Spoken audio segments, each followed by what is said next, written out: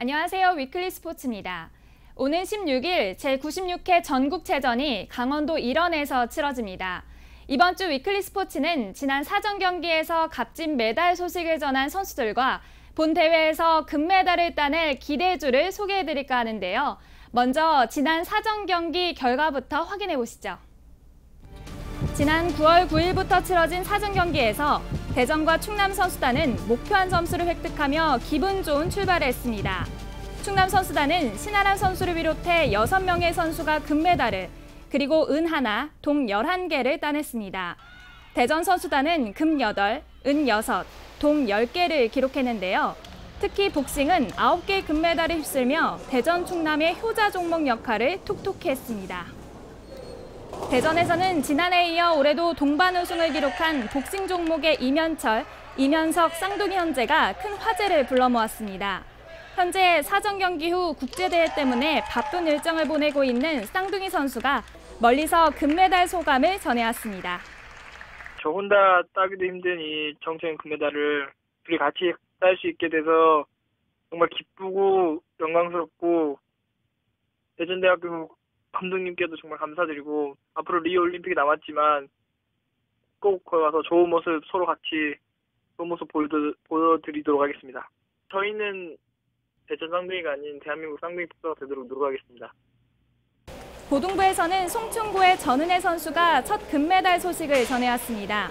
전은혜 선수는 올해부터 도입된 펜싱 전 종목의 개인전 기회를 잘 살려 사부르 개인전에 출전해 금메달을 거머쥐게 됐는데요.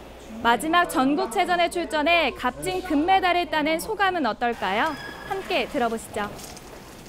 이번이 마지막 시합이었는데 되게 생각했던 것만큼 노력했던 것만큼 이렇게 잘 성적이 잘 나와서 기쁩니다.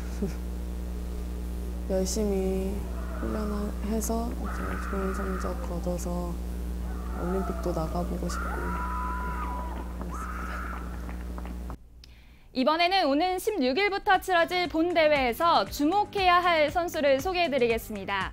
지난해에 이어 올해도 정상을 노리며 굵은 땀방울을 쏟아낸 금메달 기대주 사이클 종목의 장병구 선수를 미리 만나봤습니다. 2014 인천 아시안게임 사이클 종목에서 28년 만에 금메달 소식을 전했던 그 주인공 그리고 지난 전국체전에서 금메달 하나, 은메달 두 개를 따낸 대전 코레일의 장병구 선수가 전국체전 2연패를 노리고 있습니다.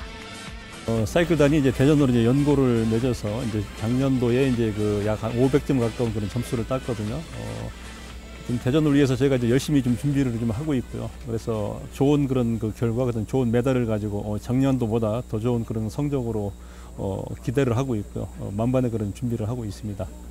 제가 이번 대전 대표로 사이클 시합을 나가게 됐는데 어, 많이 이제 노력했고 최선을 다해서 이제 시합을 임하겠습니다.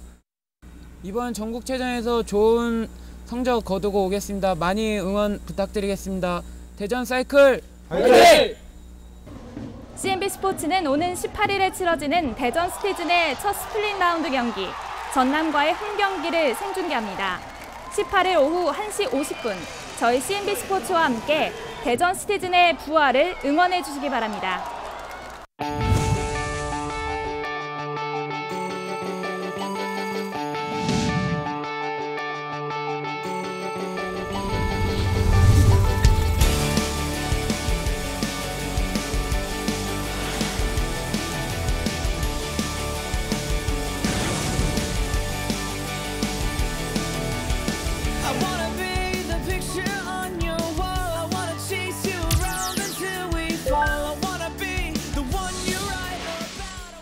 지난 주말부터 겨울 스포츠의 꽃 프로 배구가 개막했죠. 저희 CNB 스포츠도 이번 2015-2016 V리그를 오는 14일부터 치러질 삼성화재와 KGC 인삼공사의 홈 개막전부터 생중계할 예정입니다. 이번 겨울 시즌도 저희 CNB 스포츠와 함께 해 주시기 바랍니다. 지금까지 CNB 위클리 스포츠 박현수였습니다.